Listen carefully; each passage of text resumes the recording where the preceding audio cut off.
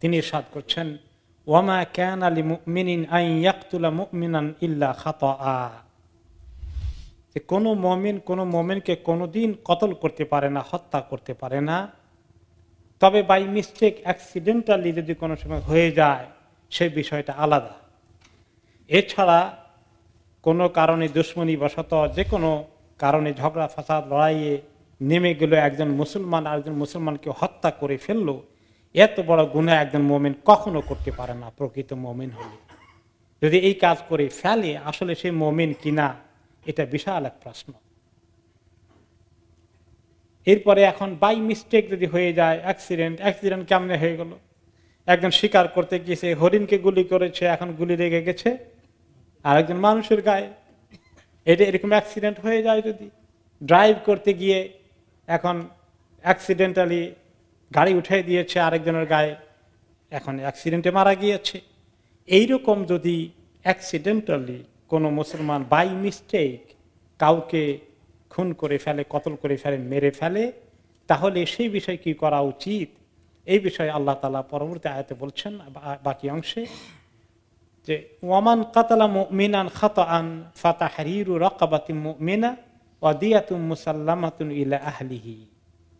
যে ব্যক্তি একজন মোমেন ব্যক্তি বাই মিস্টেক, ভুলবশত অ্যাক্সিডেন্ট বশত আরেকজন মোমেন মুসলমানকে এভাবে হত্যা করে ফেলল, মেরে ফেলল, অ্যাক্সিডেন্টাল, ইচ্ছা করে নয়, তাহলে তার দুইটা কাজ করতে হবে। আল্লাহর কাছে মাপ পাওয়ার জন্যে, এই গুণা থেকে অব্যাহতি পাওয়ার জন্য তবা তো করতে হবে তবার পাশাপাশি তাহারিরুর রাকাবাতি মেনা একজন মুসলিম কৃত দাসকে আজাদ করে দিতে হবে। অনেক টাকা ছিল তখন দাম। যখন কৃত দাস ছিল জমিনের মধ্যে। কোন মুসলমানকে বাই মিস্টেক খুন করে ফেললে এক নম্বর দায়িত্ব হচ্ছে কাফারা হচ্ছে যে একটি গোলামকে আজাদ করে দিতে হবে। আর দুই নম্বর কাফারা হচ্ছে দিয়ত আদায় করতে হবে, দিয়ত। আদায় করতে হবে তার পরিবারের কাছে। রক্তপণ, রক্তমূল্য ব্লাড মানি এবং একজন মানুষের, মানুষকে কতল করে ফেললে তার পরিবারকে দিয়ত আদায় করে দিতে হবে। দিয়ত কতটুকুন? একশো উঠ তাহলে একটি গোলাম আজাদ করতে হবে আর এই যে একশো উটের মূল্য বা একশো উট দিতে হবে কাকে? তার পরিবারকে, যে নিহত হয়েছে, তার ওয়ারিসদেরকে এটা পৌঁছাই দিতে হবে। এর সঙ্গে তবা করবে, তাহলে হয়তো আল্লাহ তালা তাকে মাফ করবেন। ইল্লা আইয়া সদ্দাকু তবে তারা যদি সদকা করে দেয়, তার মানে গোলাম আদত করে দেওয়াটা হলো কাফারা এক নম্বর, এটা আল্লাহ তালা এটার নির্দেশ। আর দিয়ত দেওয়াটা হলো আত্মীয় স্বজনের হক। মৃতের আত্মীয় স্বজনকে দিতে হবে। তবে মৃতের আত্মীয় স্বজন যদি বলে, ঠিক আছে, সে বাই মিস্টেক মেরে ফেলেছে অ্যাক্সিডেন্টালি আমাদের প্রিয়জনকে, আমরা টাকা পয়সা উঠ নিয়ে কি করব, আমরা মাফ করে দিলাম। তাহলে সদ্দাকু তারা যদি সদ্গা করে দেয়, মাফ করে দেয়, টাকা নেয় নেয় তাহলে সে আল্লাহর কাছে ঠেকবে না।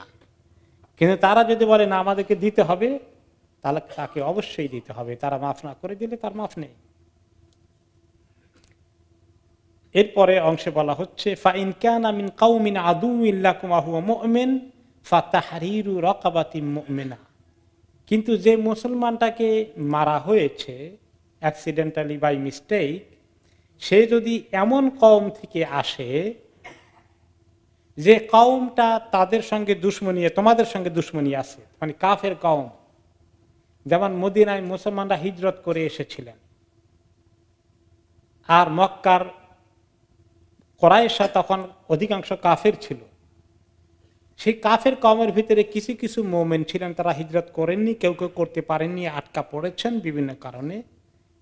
ওইখানকার কোনো মোমেনকে যদি মুসলমানরা, মদিনার কোনো মুসলমান বাই অ্যাক্সিডেন্ট মেরে ফেলে বাই মিস্টেক মেরে মেরে ফেলে, সেটার একটা আলাদা হুকুম আছে।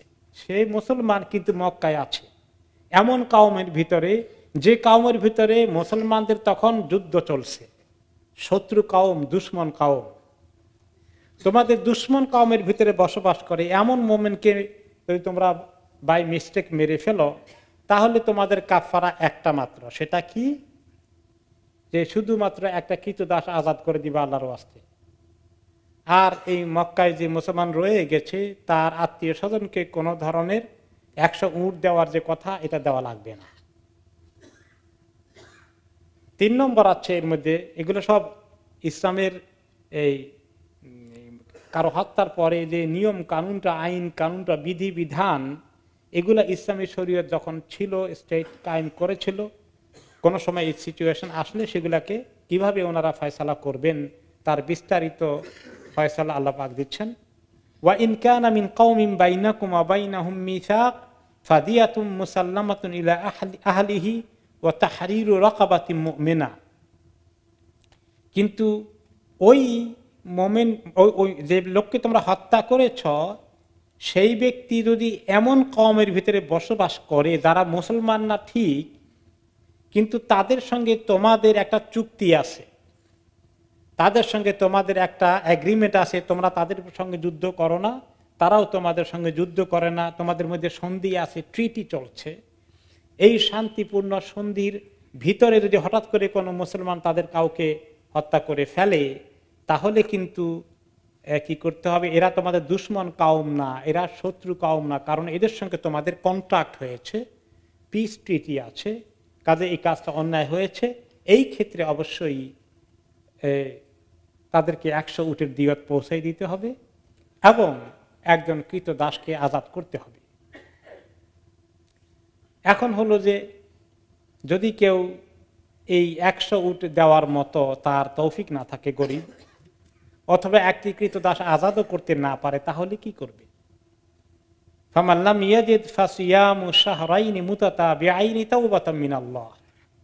এরকম করতে সমর্থ না হলে দুই মাস তাকে রোজা রাখতে হবে একাধারে।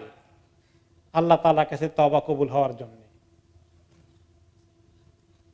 কৃত দাস আজাদ করে দেওয়া একটা, আর একশো গুড় দেওয়া, দেওয়ার মতো যদি তোমার তৌফিক না থাকে, তাহলে দুই মাস লাগাতার রোজা রাখতে হবে। কোন কারণে যদি একটা ভাঙ্গা যায়, আবার দুই মাস, আবার সাতটা। কারণ আল্লাহ তালা চান না বিনা কারণে কেউ কাউকে খুন করে ফেলুক। এর জন্য এর কাফারা এই তবা শর্ত সাংঘাতিক শক্ত। ইসলাম খুনকে পছন্দ করে না, রক্তপাতকে ইসলাম পছন্দ করে না। এটা বন্ধ করার জন্য এত সতর্কতা। আরবদের মধ্যে তো এই রক্তারক্তি খুনাখুনি খুব কমন ছিল। তাদেরকে কীভাবে আল্লাহ তালা এই অবস্থা থেকে নিয়ে আসবেন, সেগুলোর জন্য আল্লাহ তালা আস্তে আস্তে এই সমস্ত কঠিন মশালা দিয়ে তাদের কাছ থেকে এই রক্তপাতের যুদ্ধের এখান থেকে সরিয়ে নিয়ে আসছেন। ওয়াকান আল্লাহ আলিমান হাকিমা আল্লাহ তালা খুব ভালো করেই জানেন যে তিনি কোন নিয়ম কানুন, এগুলো বেশি কঠিন হয়ে গেল কিনা, বেশি শক্ত হয়ে গেল কিনা, এত একশো উঁট বাড়ির কাছে নাকি? একটা গোলাম আজাদ করে দেওয়া। কিন্তু আরব দেশে তখন রক্তপাত, খুনাখুনি এত বড় অপরাধ ছিল না তাদের কাছে। আপনারা জানেন, তারা ছোটোখাটো বিষয় নিয়ে এক কবিলা আর কবিলার ভিতরে যুদ্ধ লাগিয়ে দিয়ে মানুষকে যখন তখন তারা হত্যা করত, সেই জায়গায় এত কঠিন আইন পেয়ে তারা ঘাবড়িয়ে যায় কিনা বা মুসলমানদের কাছে কষ্ট হয়ে যায় কিনা, খুব বেশি কঠিন শাস্তি মনে হচ্ছে কিনা এগুলো জবাবে আল্লাহ তালা বলছেন ওয়াকান আল্লাহ আলিমান হাকিমা আল্লাহ তালা তো সবচেয়ে বেশি জ্ঞানী। আল্লাহ তালা সবচেয়ে বেশি সব কিছু সম্পর্কে তার চেয়ে বড় জ্ঞানী আর কেউ নেই। কাজেই তিনি যে বিধান তোমাদেরকে দান করেন এই ইসলামের শরীয়তের বিধানগুলো সর্বোত্তম বিধান মানুষের জীবনে, ঠিক কিনা আজকে দুনিয়ার মানুষ মনে করে, আরে বাবা, কোরআন, হাদিসের আইন, কারণ বড় কড়া। এগুলো আধুনিক জমানায় বসবাস করা যায় না এগুলো নিয়ে। মুসলমানদের মধ্যে আপত্তি, আর অমুসলিমদের আপত্তি তো শেষই নাই। মুসলমানরাই যদি আপত্তি করে, তো অমুসলমানরা কি করা উচিত? এই জন্য শরীয়তের বিধিবিধান পর্দার বিষয়টাই যদি ধরেন এই পর্দার বিধান ইসলাম দিয়েছে যে খবরদার, পর্দা করো, খবরদার, তোমরা পর্দাকে উঠিয়ে দিও না, কি খতরনাক। আমাদের সমাজে গেলে পর্দার ব্যাপারে কোন কোন জায়গায় আছে, কোন কোন জায়গায় নাই। আর কোন কোন জায়গায় সিলেক্টেড প্লেসে আছে, অন্য জায়গায় নাই।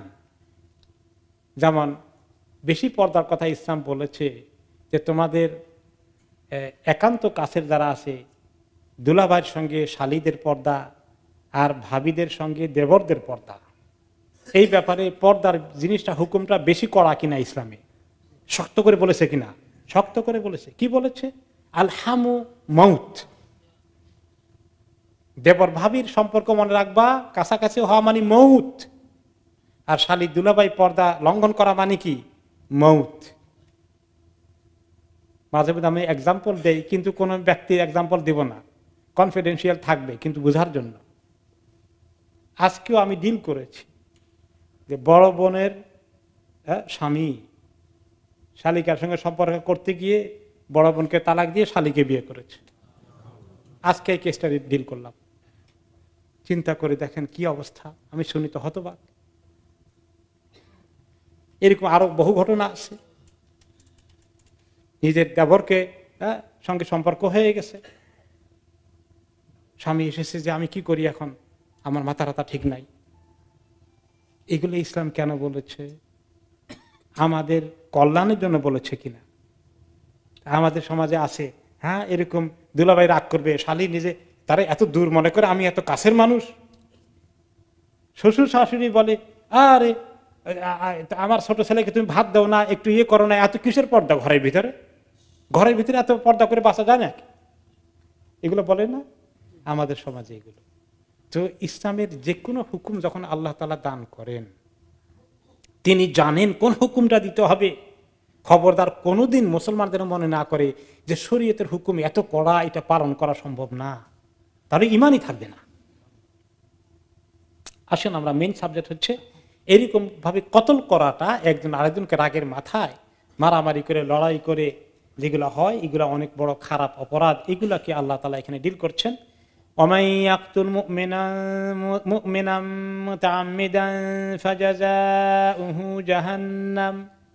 কেউ যদি কোন মমিন মুসলমানকে ইচ্ছে করে কতল করে অ্যাক্সিডেন্টে নয় বাই মিস্টেক নয়, ইচ্ছে করে প্ল্যান করে, তাহলে তার শাস্তি কি? ফাজাজা উহু জাহান্নাম। তার শাস্তি হবে জাহান্নাম। একদম জাহান্নাম। খালিদান ফিহা, সেখানে খালিদান চিরদিন থাকবে। আলাই আল্লাহ তার প্রতি প্রচণ্ড ভাবে গোসা হয়ে গেছেন। ওয়ালা আনাহু আল্লাহ তাকে লানত করছেন। ও আদালাহু আদা বানাদিমা আল্লাহ তালা তার জন্যে কঠিন শাস্তি তৈরি করে রেখেছেন। তার জন্য যে ব্যক্তি কোনো মুসলমানকে ইচ্ছে করে কতল করে, তার জন্য কয়টা শাস্তির কথা বলা হয়েছে গণেন এখন। প্রথম বলেছেন জাজা উহু জাহান্নাম। তার শাস্তি জাহান্নাম এক নম্বর। জাহান নামে কতদিন? দুই নম্বরে, খালেদান ফিহা, চিরদিন। এই চিরদিনের অর্থ কি আমরা একটু পরে বোঝার চেষ্টা করব তাফসির? তিন নম্বরে গাদেব আল্লাহ আলাইহি, আল্লাহ তালা তার প্রতি প্রচণ্ড গোসা হয়ে গেছেন। চার নম্বরে লাহু তাকে আল্লাহ লানত করেছেন। পাঁচ নম্বরে আদাল্লাহু আদাবান আদিমা আল্লাহ তালা তার জন্যে অনেক কঠিন শাস্তি, অনেক বড় শাস্তি তৈরি করে রেখেছেন। কয়টা শাস্তি বলা হলো? পাঁচটা শাস্তি। এতে বোঝা যায় যে আল্লাহ রব্বুল আলমিন কত রাগ হন, কত গোসা হন, তার জন্য পাঁচটি শাস্তির কথা বলেছেন। এখন আসি যে এই যে কতলের কথা এসেছে এই কতল করাটা মোমেনকে অনেক বড় গুণা এই ব্যাপারে কোরআন শরীফে অনেকগুলো আয়াতে এসেছে এবং অনেকগুলো হাদিসে আমরা এর অর্থ বা এই এর এই বিষয়ে অনেক আমরা শক্ত শক্ত হাদিস, কঠিন শাস্তির কথা আমরা দেখতে পেয়েছি। বখারি এবং মুসলিমের হাদিসে এসেছে। রসুল্লাহ সাল আলী আসাল্লাম বলেছেন নাসে ইয়াউমুল কিয়ামাতে ফিদ্দিমা সর্বপ্রথম কেয়ামতের দিন মানুষের লেনদেন, দেনা পাওনার বিষয়ে যে কেস আল্লাহ নিয়ে আসবেন, সেটা হচ্ছে রক্তপাত সংক্রান্ত কেসগুলো। প্রথমত আল্লাহ তালা ইমানের হিসাব নিবেন, তাই না? ইমানের পরে হিসাব নিবেন আল্লাহ তালা কিসের? সলাৎ, নামাজের হিসাব নিবেন। এগুলো তো আল্লাহর সঙ্গে সম্পর্কিত ইমানও আল্লাহর সঙ্গে সম্পর্কিত, নামাজও আল্লাহর সঙ্গে সম্পর্কিত। এরপরে মানুষের মধ্যে লেনদেনের যখন হিসাব নিবেন, সেখানে সবার আগে কোনটার হিসাব নিবেন? রক্তপাত। কেউ কাউকে খুন করেছে কি না? এই জন্য ইমাম এমনি কাসির রহমতুল্লাহ আলী বলেন যে, হাদা তাহদিদুন সাদিদুন ওয়াঈদুন আকিদুন। এত শক্ত করে আল্লাহ তালা পাঁচটি গুণা পাঁচটি শাস্তির কথা বলেছেন আয়াতের মধ্যে। যে, লেমান তাহাদা জাম্বল আজিম যে ব্যক্তি এই বড় গুণাটা করে বসে, তার জন্য এত শক্ত আজাবের কথা এসেছে। আরেকটি হাদিসে তিনি সাদ করেছেন, লাউ ইস্তেমা আহলুসামাওয়াতি ওয়াল আলা কাতলে রাজুলিন মুসলিমিন লা আকাব্বাহুমুল্লাহু ফিন্নার যে, একটি মানুষকে, একটি মুসলমানকে হত্যা করার জন্য যদি অনেক লোক একত্রিত হয় একশো লোক, এক হাজার লোক মিলে যদি একটা লোককে শাস্তি দেয় মানে হত্যা করে, এক কোটি লোক মিলে যদি একটা লোককে হত্যা করে, তাই শুধু নয়। সমস্ত মানুষ যদি একমত হয়ে যায় আসমান, জমিনে যা কিছু আছে, সবাই মিলে যদি একজনকে অন্যায়ভাবে হত্যা করার জন্য পরিকল্পনা করে, হত্যা করে, আল্লাহ তালা কেয়ার করবেন না, এই সবগুলোকে আল্লাহ জাহান নামে দিবেন। দেখতে পেয়েছেন? এরপরে লাজাওয়াল উদ্দুনিয়া আহওয়ান মুসলিম। আরেকটি হাদিস এসেছে। আল্লাহর কাছে দুনিয়াটা ধ্বংস হয়ে যাওয়া তুলনায় একটা মুসলমান মানুষকে হত্যা করা আল্লাহর কাছে বড় কঠিন বিষয় হয়ে যায়। এর মোকাবিলায় দুনিয়া যদি ধ্বংস হয়ে যায়, সেটাও আল্লাহর কাছে আরও সহজ। একজন মুসলিমের রক্তপাত আল্লাহর কাছে এত খারাপ জিনিস। আল্লাহ তালা এত অপছন্দ করেন। আরেকটি হাদিসে এসেছে, মান আন আলা কেতা, কাতলিল মুসলিম আলাউ বে সাত্রে কালিমাতিন যা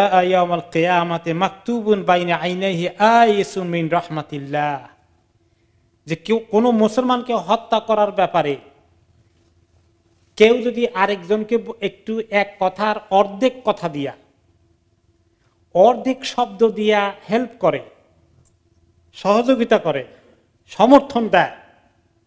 তাহলে তেয়ামতের দিন তার কপালের মধ্যে লেখা থাকবে যে, এই ব্যক্তি আল্লাহর রহমত থেকে নিরাশ। যারা কতল করেছে, তাদের কপালে কি লেখা থাকবে? যে কতলের জন্য সাহায্য, সমর্থন, সহযোগিতা করল, একটি কথা দিয়ে সাপোর্ট করে দিল। তার কপালে লেখা থাকবে কেয়ামতের দিন যে এই ব্যক্তি আল্লাহর রহমত থেকে অবশ্যই নিরাশ, তার কোনো আশা নাই। তাহলে একজন মুসলমানের রক্তপাত কত জঘন্য জিনিস।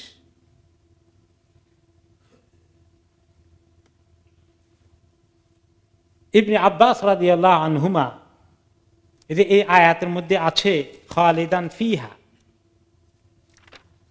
সেই ব্যক্তি জাহান নামে জাহান নামে যাবে জাহান নামে চিরদিন থাকবে। এই চিরদিনের অর্থ কি? আমরা জানি কাফেরদের ব্যাপারে বলা হয়েছে, ফি নারী জাহান্নামা খালিদিন ফিহা, তারা সেখানে চিরদিন থাকবে। এখন কোন মুসলমান নামধারী ব্যক্তি যদি অন্য কোনো মুসলমানকে হত্যা করে, তাহলে সেও জাহান নামে চিরদিন। এটা কি আসলে চিরদিন না চিরদিন নয়, তবে অনেক দিন, অনেক অনেক দিন। কোনটা বোঝানো হয়েছে? এটা নিয়ে ওলামাদের মধ্যে, ইমামদের মধ্যে সাহাবাদের মধ্যে দুটো মত হয়েছে। Salma designer abaya house. আমাদের রয়েছে আকর্ষণীয় ডিজাইনের দুবাই, সৌদি, ইন্ডিয়ান ও ইরানিয়ান আবায়া সহ কাফতান ও ওপেন আবায়ার বিশাল সমাহার। পুরুষদের জন্য রয়েছে দুরুস, আসিল দাফা সহ বিভিন্ন ব্র্যান্ডের তোপ। হারামাইন তোবে রয়েছে টু ফোর টোয়েন্টি পাউন্ডের বিশেষ অফার। সব রকমের ইসলামী বইতে রয়েছে সর্বোচ্চ চল্লিশ পার্সেন্ট ডিসকাউন্ট। বিভিন্ন ডিজাইনের waistcoat Medina dates rechargeable torch light আতর ও পারফিউম সহ অন্যান্য পণ্য সামগ্রীতেও রয়েছে big discount sale Salma designer abaya house one one eight Whitechapel road, London E one one J E একটা মতের পক্ষে আসেন সাহাবি আবদুল্লাহ আব্বাস রাজি আল্লাহ আনহুমা, যিনি রঈসুল মুফাসিরিন যিনি সবচেয়ে বড় মুফাসির কোরআনে কোরআনে পাকের ওনার ব্যাপারে ইমাম বখারি বর্ণনা করেছেন যে কুফার লোকেরা কি করল? এই বিষয় নিয়ে তাদের মধ্যে ডিবেট হলো যে একজন মুসলমান আরেকজন মুসলমানকে হত্যা করলে খালিদান ফিহা কোরআন শরীফে আছে, চিরদিন থাকবে। অন্য আয়াতগুলোতে শুধু কাফরদের ব্যাপারে চিরদিনের কথা মনে করা হয়েছে। বাকি কতল করা আরেক মুসলমানকে অনেক বড় গুণা কবিরা ঠিকই, কিন্তু গুণা কবিরা থেকে তো একবার জাহান নামে জ্বলতে জ্বলতে জ্বলতে জ্বলতে একবার বের হয়ে আসার কথা, নাকি সেখানে চিরদিনই পড়ে থাকবে? এটা নিয়ে তাদের মধ্যে বিতর্ক হলো। দুই মত হয়ে গেল। তখন তারা ফয়সালার জন্য মদিনায় এক লোককে পাঠালেন। কার কাছে? আবদুল্লাহ ইবনে আব্বাস রাজিউল্লাহ আনহুমার কাছে, যে তিনি তো সবচেয়ে বড় মুফাসের এই আয়াতের তাফসির সম্পর্কে ওনার কাছে জিজ্ঞেস করা হোক। ওনার কাছে আসা হলো। তখন তিনি বললেন যে, দেখো, এই যে আয়াতটা এখন আমি তোমাকে পড়ে শোনাবো অমাইয়াকুল মুমিনান মুতা আমিদান ফাজাজা উহু জাহান্নাম। এই যে আয়াত আছে যে ব্যক্তি কোনো মোমেনকে ইচ্ছে করে কতল করে, তার শাস্তি হচ্ছে জাহান্নাম। খালিদান ফিহা, তা সেখানে চিরদিন থাকবে। অগাদাবাল্লাহ আলহি আলাহু আদাবান আদিমা এই আয়াতটা নাজিল হয়েছে অনেক শেষের দিকে নবী করিম সাল্লাম জীবদ্দশায়। ওমানাসাখা সাইউন এই কতলের বিষয়, এটা আখেরি আয়াত। আর কোন আয়াত এসে এটাকে মানসুখ করেনি। এটাকে রদ করে দেয়নি। কাজে এটাই ছিল ওনার মতামত যে সেই ব্যক্তি অবশ্যই চিরদিন থাকবে, সে আর কোনোদিন বের হতে পারবে না জাহান্নাম থেকে। এরপরে আরেকটি হাদিসে সাইদ ইবনে জুবাই রাদিয়াল্লাহু তাআলা ইনি একদিন বড় তাবেঈন, তিনি বলেন, আমি ইবনে আব্বাস আনহুমাকে এই আয়াতের তাফসীর সম্পর্কে জিজ্ঞেস করলাম, খালিদান ফিহা, সেখানে চিরদিন থাকবে অর্থ কি? তিনি বলেন, ইন্না রাজুল্লাহ ইদা আরাফাল ইসলাম। হ্যাঁ কোনো লোক যদি ইসলামকে ভালো করে বুঝেছিল মানে ইসলামের জ্ঞান পাওয়ার সুযোগ হয়েছে তার ও সারা আয়াল ইসলাম, ইসলামের হুকুমগুলো জানার সুযোগ হয়েছে, অতপর সুম্মা কাতাল মিনান মুতা আমিদান সে নিউ মুসলিম না, হঠাৎ করে ইসলাম কবুল করেছে আর অ্যাক্সিডেন্টালি কাউকে এভাবে কতল করেছে এরকম না। জেনে শুনে ইসলামকে জানার পরে ইচ্ছা করে যখন যদি কাউকে কতল করে, তাহলে ফজাজা উ জাহান্নাম সে অবশ্যই জাহান্নামে চিরদিন থাকবে। ওয়ালা তাওবাতালাহু তার তওবা কবুল করে জাহান্নাম থেকে বের হয়ে আসার আর কোনো সুযোগই নাই। এই কথা শুনে সাইদ জোবাইর বললেন, আমি এমনি আব্বাসের আরও এক ছাত্র আছেন, তিনি আর একজন বড় মুফাসের মুজাহিদ রহমতুল্লাহ আলাই ওনাকে আমি জিজ্ঞেস করলাম যে, এরকম যে উনি বললেন এইটাই কি আপনার মতামত কি? না, নাকি এখানে আর কোনো সুযোগ আছে? তখন তিনি বললেন ইল্লামান্নাদিমা তবে যে ব্যক্তি অত্যন্ত অনুতপ্ত হয়ে পড়ে, খুব তবা করে, তার ব্যাপারে আশা করা যায় যে হয়তো আল্লাহ তালা তাকে কানতে কানতে কান্দার কারণে, কান্নার কারণে তবা করার কারণে হয়তো আল্লাহ মাফ করবেন। আরেকজন বলেন যে এমনি আব্বা যখন অন্ধ হয়ে গেছেন বুড়ো বয়সে, ওনাকে একজন এসে বললেন তিনি তো চোখে দেখেন না তখন আর? ওনাকে জিজ্ঞেস করা হলো, ইয়া আবদুল্লাহ ইবনে আব্বাস, মা তারা ফিরাজুলিন কাতাল মিনান মুতা আমিদান এই যে আয়াত আছে, কোন লোক যদি এরকম করে তওবা করে ফেলে, পরে তার কোনো হৃদায়তের রাস্তা আছে? কলা ফরা আইতা ইনতাব আমেলা সালেহান সুমাহতাদা খুব তওবা করল, নেকামল করল, তারপরে হৃদায়তের দিকে চলে আসলো। তার কোনো রাস্তা আছে? তিনি বললেন, কোনো রাস্তা নাই, তার জন্য আমি কোনো রাস্তা দেখি না। কেমনে দেখব? কারণ তোমাদের নবী করিম সাল্লাম বলেছেন ওয়াল্লাদি নাফসি বেয়াদিহি, আল্লাহর কসম যার হাতে আমার নফস, আমার জান, আমার রুহ রয়েছে। লাকাত সামিত নবী এখন সাল্লাহ আলসালাম ইয়াকুল, তোমাদের নবীকে বলতে শুনেছি হ্যাঁ? তিনি বলেছেন যে কি? যে ব্যক্তি একজন মমিনকে ইচ্ছা করে কতল করে, তার মা তাকে হারিয়ে ফেলুক, তার ধ্বংস অনিবার্য। যা আয়ামল কেয়ামাতে আখাদাহু বিয়ামিনহি অবিসিমালিহি সে তার ডান হাতে বা বাম হাতে তার কাতেলকে, খুনিকে ধরে নিয়ে আসবে আল্লাহর কাছে। আউদাজহু তাসখাবু আউদাজহু মিন কেবালে আরশির রহমান। তার এই যেখান দিয়ে হত্যা করেছে, এই কাটা রক থেকে রক্ত তখন পড়তে থাকবে ফিনকি দিয়ে। আর সে আল্লাহর কাছে তার কাতেলকে, তার খুনিকে ধরে নিয়ে আসবে। আর আরশের কাছে চলে আসবে। ইয়াল জেমু কাতেলাহু বিশেমা আলী বাম হাতে তার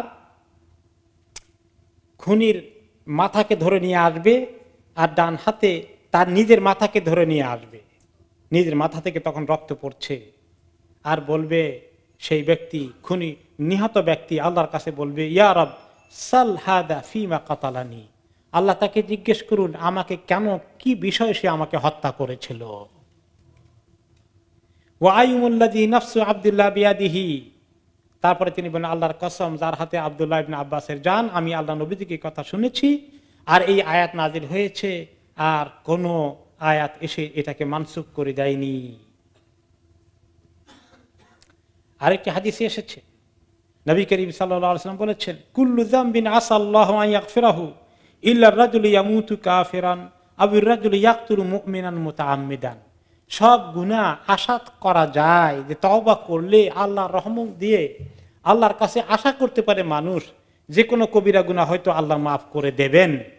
তবে কেউ যদি কাফের হয়ে মৃত্যুবরণ করে বা কোনো মুসলমানকে হত্যা করার পরে মৃত্যুবরণ করে তার তওবা এবং মাপ পাওয়ার কোনো আশা থাকতে পারে না।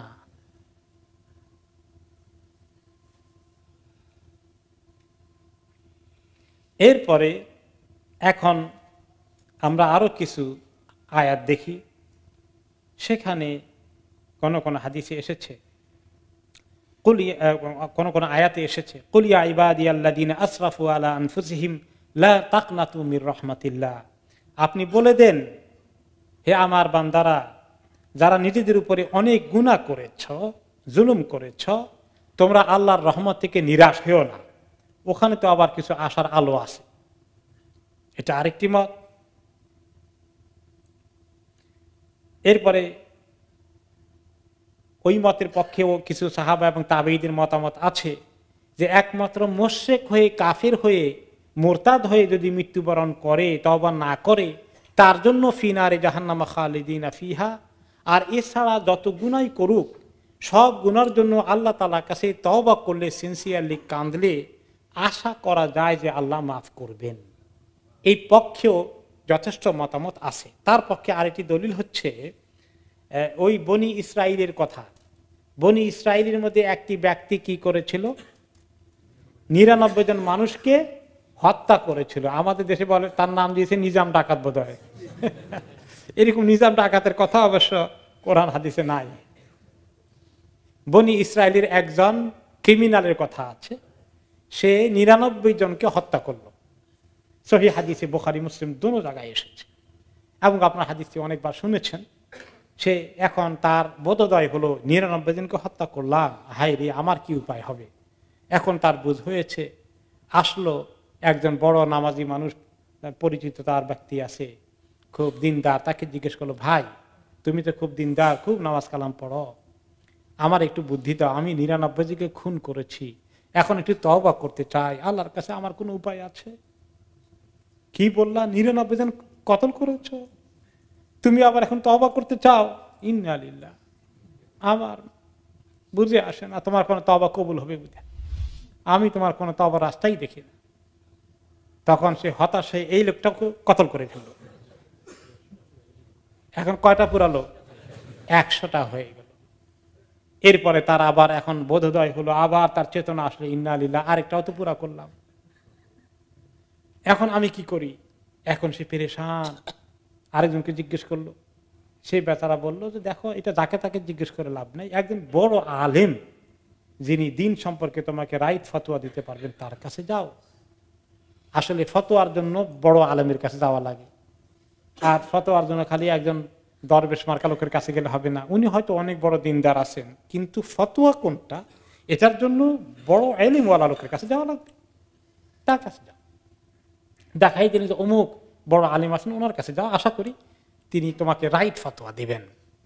ওনার কাছে গিয়ে তিনি সব কাহিনী বললেন। বলার পরে আলিম সাহেব বললেন, শোনো, এই যে কোরআনে আমাদের যে কথাগুলো আছে তাওরাত ইঞ্জিল জাবুল জাবুলেও এরকম কথা আছে। এই যে কোরআনে কি আছে? আমার ওই সমস্ত বান্দাদেরকে বলেন, যারা নিজেদের উপরে অনেক জুলুম করেছ, তোমরা আল্লাহর রহমত থেকে নিরাশ হইও না। তোমরা আল্লাহর কাছে সিনসিয়ালি তবা করো এবং এমন তবা করে নেক আমল বাড়িয়ে দাও। এরকম যারা করে, তাদের জন্য সুসংবাদ কি? উলাইকা ইবাদ্দিলুল্লাহু সাইয়্যাতিহিম হাসানাত। এই সমস্ত লোকদের তওবা শুধু আল্লাহ কবুল করেন না, তাদের গুণাগুলোকে আল্লাহ নেকিতে পরিবর্তন করে দেন। এইরকম কথা তাওরাতেও আছে জাবুরেও আছে সহফে ইব্রাহিম মুসায়ও আছে কোরআনের আগেও এই সমস্ত কথাবার্তা আল্লাহ তালা মানুষকে বলেছেন। সেগুলোর ভিত্তিতে আলিম সাহেব ফতুয়া দিলেন যে, না, তোমার তবার রাস্তা খোলা আছে এখনও। যতক্ষণ তুমি না মরো, দুই সময় তবার রাস্তা বন্ধ হয়ে যায়। একটা কি? যখন মৌত চলে আসে গরগরাতুল মৌত চলে আসে, তখন বন্ধ হয়ে যায়। ইয়াকবালু তাওবাতাল আবদি মা লাম ইউগারগে বান্দার আ- তওবা কবুল করেন যতক্ষণ তার মৃত্যুর শেষ নিঃশ্বাস নিয়ে টানাটানি শুরু না হয়। আর যখন শেষ জামানায় কেয়ামতের আগে সূর্য পশ্চিম দিক থেকে উদিত হবে, ওই সময় ত- তওবার সমস্ত দরওয়াজা বন্ধ হয়ে যাবে। এখন কেউ যদি আজকে কুফুরিও করে, আল্লাহ মাফ করুন। কেউ যদি শেরিকের মধ্যেও থাকে, কেউ যদি মোরতাদও হয়ে যায়, আর মৃত্যুর আগে তওবা করতে চায়, তওবার রাস্তা কি খোলা আছে? আছে এখনও। আল্লাহ তালা তওবার রাস্তা এখনও খোলা রেখেছে। তাহলে এই হত্যার মতো, কতল করার মতো ব্যক্তি তবা করতে চাইলেও আল্লাহ তালা দরজা বন্ধ করে দেননি। আলিম সাহেব তাকে বললেন, এখনও তোমার জন্য তবা রাস্তা খোলা আছে। তুমি এই রাস্তা থেকে সর- সরিয়ে আসতে হবে, খবরদার। আরেকটি কাজ যেন তোমার দ্বারা এরকম না ঘটে, এইটা তুমি নিশ্চিত করো। তবে তিনি বলেন এটা নিশ্চিত করতে হলে তোমার এই সোসাইটিতে থাকা ঠিক হবে না। কারণ কি? এতে বোঝা গেল যে সে লোকটা, তার কিছু এমন গ্যাং আছে, এরকম তার কিছু সোসাইটি আছে বন্ধু বান্ধব আছে, যাদের সঙ্গে থেকে সে এগুলা করে, তাদের কারণে উৎসাহিত হয়ে যায়।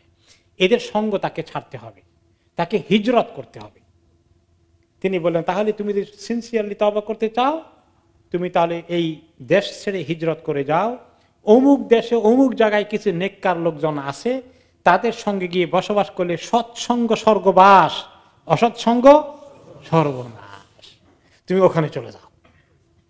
তো ওখানে গেলে আল্লাহ আমাকে মাফ করবেন, আল্লাহ মাফ করবেন তবা করতে থাকো, সেখানে গিয়ে নেকামল করতে থাকো। সে বাচ্চারা রওনা করে দিল। আপনারা কাহিনী শুনেছেন? আরেকটু কনফার্ম হয়ে নেন।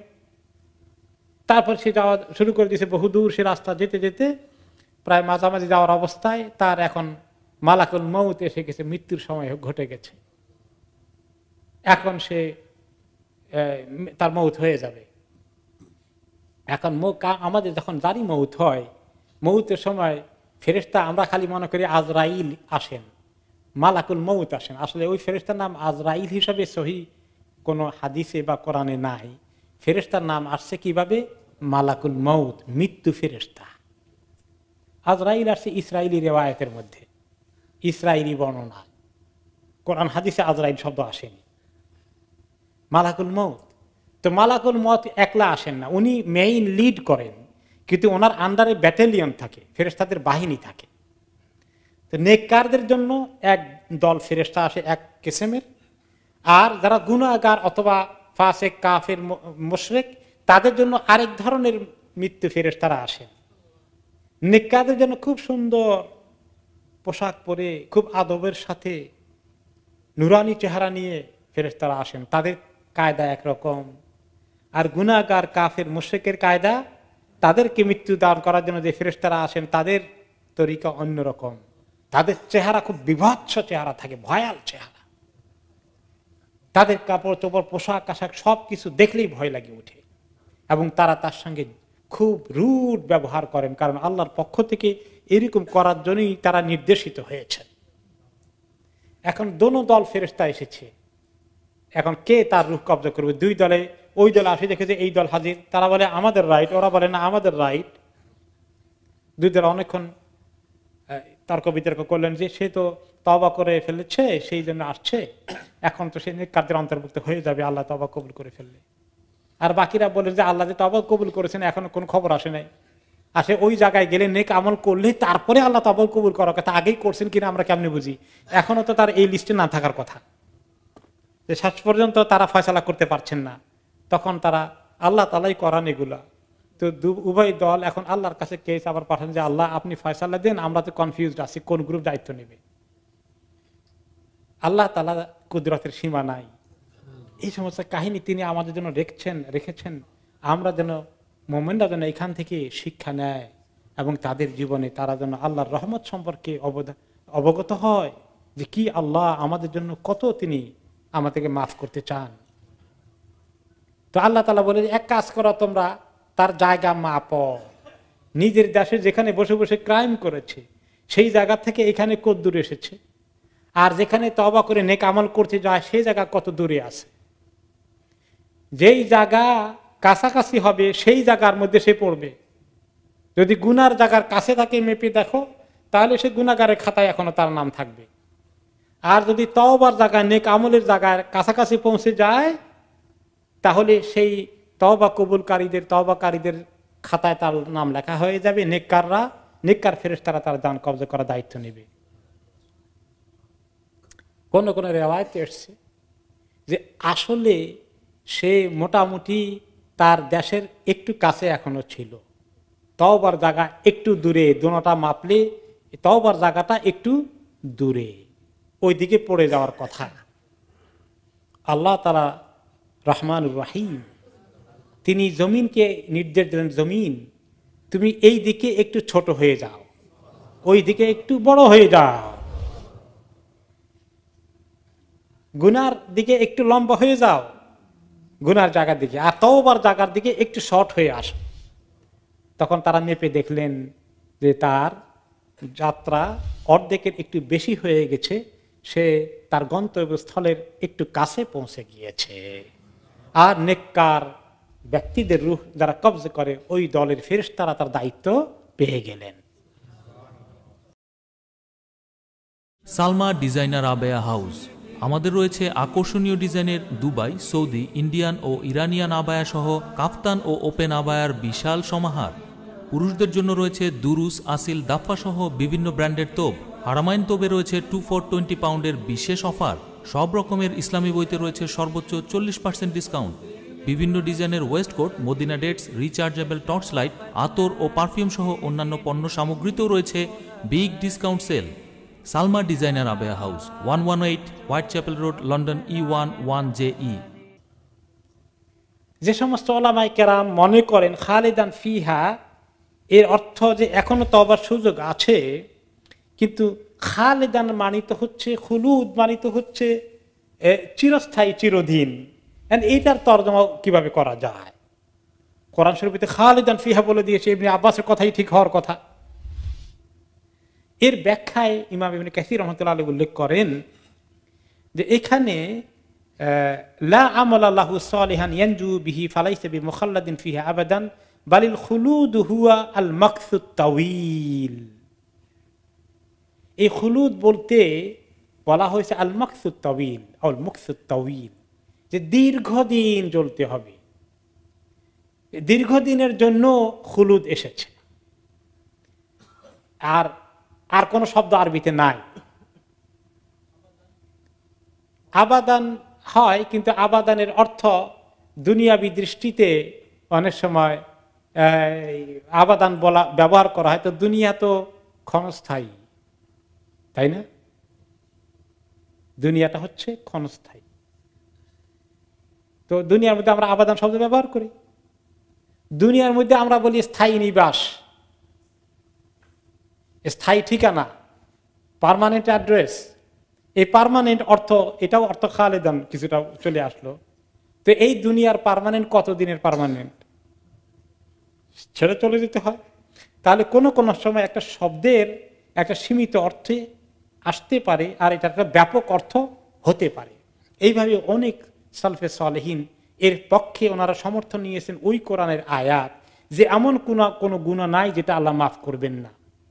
একমাত্র সেরেক এবং কুফর করে মৃত্যুবরণ না করা পর্যন্ত। এভাবে খুলুদের দুটো অর্থ হয়েছে। অনেক দিন থাকবে এটা যেমন, আর একদম খালিদিন আফিয়া চিরদিন থাকবে ওইটার অর্থ কাফেরদের জন্য প্রযোজ্য। আর এরকম মোমেন যে এত বড় গুণা করছে তার জন্য খুলুদ আছে ঠিকই, কিন্তু খুলুদটা চিরদিন। হুনাকা খুলুদ দুনা খুলুদ এভাবে হতে পারে যেমন ইবনে আব্বাস রাজের আনহুম আরেকটি আয়তে কুফুরের কথা বলেছেন। কুফুরের অর্থ কি? তিনি যে ব্যক্তি কাফের হয়ে যায় এটা তো সে তো খালিদিন থাকার কথা জাহান নামে কিন্তু মান তারা সলাত আমিদান ফাকাদ গাফার যে ব্যক্তি ইচ্ছে করে নামাজ তরক করে, কাজা করে, ফরজ নামাজ, সে ব্যক্তি কুফরি করল। এই কুফরি যদি করে, তার নামাজ তরক করার কারণেই তো সারা জীবন জাহান নামে থাকার কথা। কিন্তু এই ক্ষেত্রে ইবনে আব্বাস রাদিলা আনহুমা সহ সালফে সালফে সালেহিনীদের মোটামুটি ইজমায়ের মতো হচ্ছে যে না, এই কুফুরির কারণে জাহান নামে চিরদিন জ্বলবে না। বহুদিন জ্বলবে ঠিকই নামাজ তরক করার কারণে, কিন্তু একদিন বেরিয়ে আসবে। কারণ হুনাকা কুফরুন দু না কুফর কুফরের ভিতরে আবার আরেকটা কুফর হয়। এক কুফর আছে একদম শরীয়ত থেকে বের করে দিয়ে না অমুসলিম বানিয়ে দেয়। আরেক কুফর আছে, কুফরি গুণা করল, কিন্তু এখনও ইসলামের গণ্ডির ভিতরে আছে। তো এইভাবে করে দুটো মতামত এসেছে যারা কাউকে হত্যা করেছে, খুন করেছে। এখন ওই বনি ইসরায়েলের বিশেষ করে হাদিসটি তো সহি হাদিস। কোরআন হাদিস একটা আরেকটার সঙ্গে কন্ট্রাডিকশন হইলে উপায় কি তখন? যে কোনো তরিকায় যদি এই দুটোর মধ্যে তাওয়াফক করা যায় কন্ট্রাডিকশন না হয়ে, তাহলে সেটাই হচ্ছে উত্তম তরিকা। যে কোরআনের সঙ্গে হাদিসের টক্কর লাগল না। এখন এখানে যদি বলি যে কুফরি সারা জীব- চিরজীবন থাকবে, তাহলে বনি ইসরায়েলের ওইটা মাপ পায় কেমনে তাহলে? তাহলে বোঝা গেল আল্লাহ রব্বুল আলমিন এক পর্যায়ে এরকম গুণাও মাফ করতে পারেন। কিন্তু কীরকম তওবা করতে হবে, আল্লাহ তালা জানতে হবে ভালো করে এবং যখনই তার মনে আসলো তখনই এই গুণা থেকে বহু দূরে চলে যেতে হবে। এখন আসুন, এই যে এত শাস্তির কথাগুলো হাদিসে এসেছে যে কেউ যদি কোনো মানুষকে হত্যা করে, তাহলে তার জন্য আল্লাহর পক্ষ থেকে মা পাওয়ার কোনো কারণ থাকে না। এই সবগুলো কথা হাদিসে কিন্তু সহি আছে। এখন মানুষকে এইভাবে হত্যা করতে গেলে, একজন মানুষকে হত্যা করলে যে কয়জন তার সঙ্গে সম্পর্কিত আছে, সবাইকে আল্লাহ তালা শাস্তি দেবেন। এখন একজন মুসলমানকে আরেকজন মুসলমানকে হত্যা করার বিষয়টা এই জমানায় কেমন সহজ হয়ে গেছে মনে করেন? এক এক দেশের দিকে তাকালে দৈনিক কতজনকে হত্যা করা হচ্ছে? পাখির মতো। মনে হয় না মানুষ কোনো কুকুর, শিয়াল, কোনো জন্তু, জানোয়ারকে এইভাবে মানুষ যখন তখন হত্যা করে না। এই জামানায় এরকম হত্যা শুরু হয়ে গেছে। আলামতের কেয়ামতের আলামত অন্যতম একটা সেটা কি? তিনি বলেন যে হারাজ হারাজ। হারাজ মানে যে এরকম করে গলা কাটা হবে না, হত্যা করা হবে হত্যা করা হবে। তখন তিনি বলেন যে এইরকম হত্যা চলবে যে যাকে হত্যা করা হলো সেও জানে না তাকে কেন হত্যা করা হচ্ছে। আর যে হত্যা করল সেও জানে না কি কারণে তাকে হত্যা করছে। হত্যা করার জন্য তো একটা বিশাল কোনো বিষয় ঘটা দরকার, তাই না? কিন্তু এমনিতেই চটচট করে হত্যা করে ফেলা, এই যে কাজ চলছে যারা এই কাজ করছে, তারা কি কোনো দিন চিন্তা করে দেখবে যে তাদের এই হত্যার পরিণতি কি হতে পারে? এই দুনিয়ার জীবন কতদিন? দুনিয়ার কিছু পাওয়ার জন্য তো এই কাজ করে। এবং আখরাতে জিজ্ঞেস করা হবে। যে কেন আমাকে হত্যা করেছিলে? এখন দুনিয়াতে কেউ হত্যা করে, তার প্রতিপক্ষকে হত্যা করলে তার রাস্তা ক্লিয়ার হয়ে যায়। এই যে চলছে হত্যার নেশা, হত্যার এক মানে বন্ধনহীন প্রতিযোগিতা চলছে মনে হয় যেন। আল্লাহ রাবুল্লাহ আলমিন মুসলিম উম্মাদকে এই রক্তের নেশা থেকে রেহাই দান করুন। পরবর্তী আয়তে আল্লাহ তালা সাদ করছেন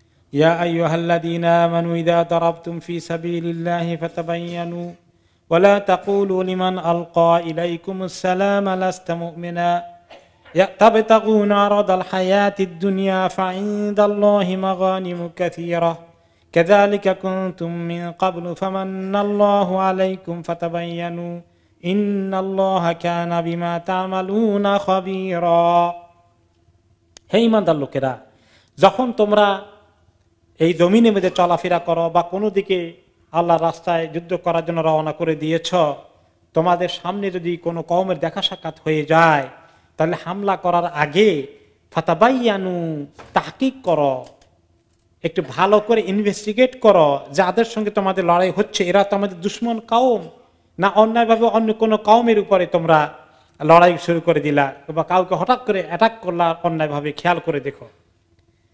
ওয়ালা তাকুলুল ইমান আলকা ইলাইকুম সালাম আলাস্তা মুমিনা। আর যদি কেউ এসে তোমাদের কাছে বলে, সালাম দেয়, আর আত্মসমর্পণ করে আর বলে, আমরা মুসলমান হয়ে গেছি, তাহলে তাদেরকে বলো না, খবরদার, না, তোমরা মুমিন, আমরা বিশ্বাস করি না। এরকম করো না। তাও তাকুন আর হায়াতি দুনিয়া। তোমরা মনে করো, দুনিয়ার কিছু পেয়ে যাবা, গনিমতের মাল পাওয়া যাবে, এই কমকে অ্যাটাক করে, হামলা করে, সব নিয়ে দিতে পারবা। ফাইন্দাল্লাহি মাগানিমু কাসীরা। আসলে সবর করলে আল্লাহর ডাইরেকশন ফলো করলে আল্লাহ তালার কাছে তোমাদের গনিমতের অনেক কিছু পাওয়ার আছে। আসল পাওয়া তো আল্লাহর কাছে। দুনিয়ার গনিমতের জন্য আল্লাহর কাছে গুলো হারাতে চাও। কাদালিকা কুনতুম মিন কাবলু এর আগে তোমরা এরকমই রক্তপাত করতে হে মুসলমানরা। ইসলাম কবুল করার আগে জাহিলি জমানায় তাই করেছিলে তোমরা আরবদের ভিতরে। ফামান্নাল্লাহু আলাইকুম। এখন আল্লাহ তালা তোমাদের প্রতি এহসান করেছেন, ইসলামের রাস্তায় নিয়ে এসেছেন। তোমাদেরকে রক্তপাত থেকে সরিয়ে এনেছেন। ফাতাবাইয়ানু, এখন তোমরা সতর্ক হয়ে যাও। খবরদার, কোনো কিছু কনফার্ম না হয়ে, নিশ্চিত না হয়ে ইনভেস্টিগেট না করে, অন্য কোনো কামকে দেখলেই দুশ্মন মনে করো না অ্যাটাক করো না। ইন্নাল্লাহ কানা বিমা তামালুনা খাবিরা। তোমরা যা কিছু করো, সবগুলো খবর আল্লাহ তালা রাখেন। এখন এ বিষয়ে এমনি আব্বাস রাজি আল্লাহ আনুমা একটি হাদিস বর্ণনা করেছেন। তার আগে ইমাম বুখারি বলেছেন, সেখানে ইবনে আব্বাস আনহু ছিলেন রাবি কেন রাজুলুন ফি গনিমাতিল্লাহু ফালাহিকাহুল মুসলিমুন, ফাকালা, আসসালামু আলাইকুম, ফাকাতালুহু আখাদু গনিমাতাহু। যে একজন মুসলমান, তিনি কিছু যুদ্ধের পরে অন্য মুসলমান কওমের গনিমতের মাল জোগাড় করে এগুলা তার কাছে রাখছিলেন, পাহারা দিচ্ছিলেন। আরেক দল মুসলমান এসে মনে করল, এই বোধহয় কাফের। তারা তাকে চিনতে পারেনি, সে সালাম দিয়েছে। ওইটা তাদের দুশ্মনদের এলাকা হওয়ার কারণে তাকে দুশ্মন মনে করে কতল করে তার গনিমতের মাল সব কেড়ে নিয়েছে। আল্লাহ তালা টের পেয়ে তাদেরকে তখন নসিহত করলেন, এই শক্তভাবে এই আয়াতে নাজিল করলেন। আরেকটি রেওয়ায়তে এসছে যে নবী করিম সাল্লা সাল্লাম একটি ছোট্ট দল পাঠিয়েছিলেন এক জায়গায় সেখানে আল মেকতাদ আসওয়াদ নামে আল আসওয়াদ নামে এক সাহাবী ছিলেন। যখন তিনি সেই কমের কাছে গিয়ে পৌঁছলেন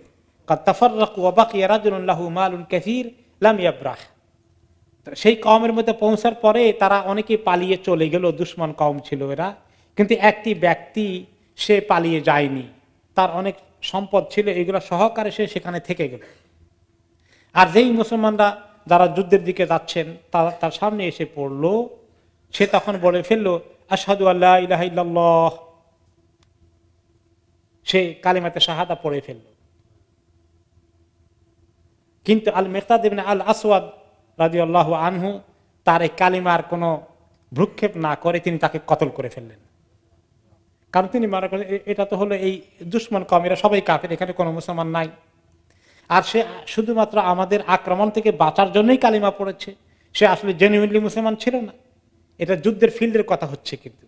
এটা মনে রাখবেন, কোনো জায়গায় কোনো সাহাবিরা শান্তিপূর্ণ কামের মধ্যে অ্যাটাক করেন নাই। এই অ্যাটাকগুলো মেইনলি এসেছে যেখানে যুদ্ধের একটা পরিবেশ বিরাজমান ছিল এবং তারা অমুসলিম কম ছিল, তারা যুদ্ধ করছিল, সেই যুদ্ধের জন্যই তিনি বাহিনী পাঠিয়েছেন। তারপরে যখন বাকিরা পালিয়ে গেছে পালাতে পারেনি, তারা এত টাকা পয়সা, মাল, দৌলত রেখে সে থেকে গেল, সে অত চিন্তা করেছে, দেখি মুসলমান হয়ে যায় ইসলামের কালিমা পড়ে, আমাকে বোধহয় তারা ছেড়ে দিবে। এখন সে নিয়তে, সে যে- যে নিয়তে থাকুক, সে কালিমা পড়ে ফেলেছে। কিন্তু সাহাবি আল মেকদাদ তার কথা শুনলেন না, তাকে কতল করে ফেললেন। তখন ওনার সঙ্গে যে আরও কিছু সাহাবি ছিলেন, তারা আপত্তি করে বসে, আপনি কি করলেন এটা? আকাতাল তারাজুলান শাহিদ আল্লাহ ইলাহিল্লাহ এমন লোককে আপনি হত্যা করলেন যে কালিমা শাহাদা পড়ে ফেলেছে ইমান এনে ফেলেছে? অল্লাহি লাআযকুরান্না যালিকা লিন-নবিয়্যি সাল্লাল্লাহু আলাইহি ওয়াসাল্লাম। আল্লাহর কসম, আমি এই কেস আল্লাহ নবীর কাছে বলব, আপনি কি কাজটা করলেন? আমার দৃষ্টিতে আপনি ঠিক করেননি। তখন ওরা যখন মদিনা এসেছিলেন, তিনি এসে এই কেস দায়ের করলেন। তখন নবী করিম সাল্লাম বললেন উদউলিল মেকদাদ, মেকদাদকে ধরে নিয়ে আসো। ওই সাহাবিকে ডেকে পাঠালেন, তিনি আসলেন। তিনি বলেন ইয়া মেকদাদ আকাতাল তারাজুলান ইয়াকুল উলা ইলাহা ইল্লাল্লাহ?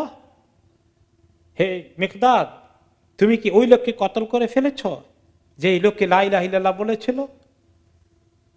তিনি বলেন, ইয়া রাসুল আল্লাহ আমার কাছে সুস্পষ্টভাবে মনে হয়েছে, সে তার নিজের যান বাঁচানোর জন্যই এই কথাটা বলেছে। আসলে সে মুসলমান হয়েছে বলে আমি আমি আমার কাছে মোটেই এই জিনিসটা ফুটে ওঠেনি। একমাত্র তার যান বাঁচানো মালগুলো রক্ষা করার জন্য সেই কাজ করেছে। তখন অন্য রেওয়ায়তে আসছে, আফালা শাকাক তাকাল বাহু তুমি কি তোমার, তার অন্তরটা চিরে ফেড়ে দেখেছিলা যে তার অন্তরের ভিতরে সে জেনুইনলি বলে নাই, অন্য কোনো মতলবই বলেছে। অন্তর ছিঁড়ে চিরে এটা জানার চেষ্টা করেছিলা। তার মানে আপনি যদি কারও অন্তরকে এভাবে ফাটেন, ছিঁড়েন, সেখানে লেখা থাকবে কিছু? তিনি কি বুঝিয়েছেন? যে অন্তরের ভিতরে কি আছে সেটা তোমার জানার উপায় নেই। সে যখন বলেছে, তুমি কেন কালেমার উপরে রেখে দিলে না? তারপর তিনি আফসোস করে বলেছেন ফাঁকাই ফাবিকা ইজা যা আবিলা ইলাহিল্লাহ তুমি কি করবে সেদিন কেয়ামতের দিন যখন সে লাহ নিয়ে আল্লাহর কাছে উঠবে? যে আল্লাহ, আমি লাহ বলেছিলাম, তারপরে আমাকে হত্যা করা হয়েছে। তুমি কি করবে সেদিন?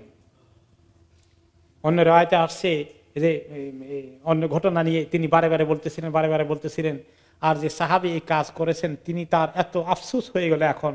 তিনি এত দুঃখে হৃদয় ভাক্রান্ত হয়ে গেল। তিনি এত রিগ্রেট করা শুরু করে দিলেন। তিনি বললেন হায় রে আমি কি করলাম?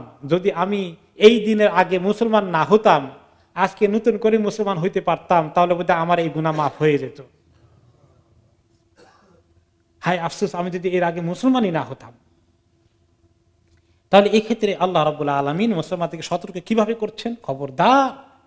বিশেষ করে লড়াইয়ের ময়দানে যখন ওনারা গিয়েছেন, এরকম অনেক দুর্ঘটনা ঘটেছে। সেখানে বোঝা মুশকিল যে অনেক সময় দুশ্মন অ্যাটাক করে, আবার যদি সুবিধা না করতে পারে, বলে ফেলতে পারে যে আমি মুসলমান, কিন্তু আবার চান্স পেলে অ্যাটাক করে ফেলবে। এগুলো অনেক ঘটনা আছে। অনেকগুলো ঘটনা এসেছে। এরকম আরেক ঘটনা আসছে না? যে এক সাহাবি শুয়ে আছেন তার যে তাকে প্রতিপক্ষ মোকাবিলা করতে আসছে। দুইজনের মধ্যে মোকাবিলা হয়েছে, সে তাকে মারতে চেয়েছে, কিন্তু মারতে পারে নাই। এই সাহাবি তাকে আহত করে ফেলে দিয়ে তার বুকের উপরে চড়ে পড়ছেন। তখন সে বলেছে আসাদু আল্লাহ তখন এই সাহাবি তাকে কতল করে দিয়েছেন। এই কমপ্লেন নবীর কাছে এসেছে আলহি সাল্লাম তিনি শুনে বলেছেন, তুমি কেন এটা করলে? ইয়া রাসুল্লাহ আমি নিশ্চিত মনে করেছি, সে আমাকে এই কয়েক মিনিট আগেই কতল করতে এসেছে। এখন আমি তাকে কতল করবে, এই সময় যান বাঁচানোর জন্য সেই কথা বলেছে। তিনি বললেন, তুমি আপালা সাকাক্তা সাদরাহু কালবাহু? তুমি তার অন্তরকে ফেড়ে দেখলে না? সে কি আসলে জেনুইন ছিল? তো এভাবে করে কতগুলো ঘটনা এসেছে। আল্লাহ তারা সতর্ক করেছেন, খবরদার। বিশেষ করে কোনো নতুন কমের কাছে গিয়ে। কোনো জায়গায় যুদ্ধের জন্য যখন পাঠাই, তখন তোমরা সেখানে যুদ্ধ মোকাবিলা করবে, সতর্ক থাকবা। By mistake. না জেনে, না শুনে যেন এরকমভাবে কোনো জায়গায় একটি রক্তপাত না হয়ে যায়। ফাতা বাইয়ানু তোমরা অত্যন্ত সতর্ক থেকেও আর কেউ যদি ইসলাম কবুল করে ফেলে, তোমাদেরকে সালাম দেয়, ইসলাম কবুল করে, তখন তোমরা তার বিরুদ্ধে আর অস্ত্র ধরো না। তাকে নিরাপত্তা দাও।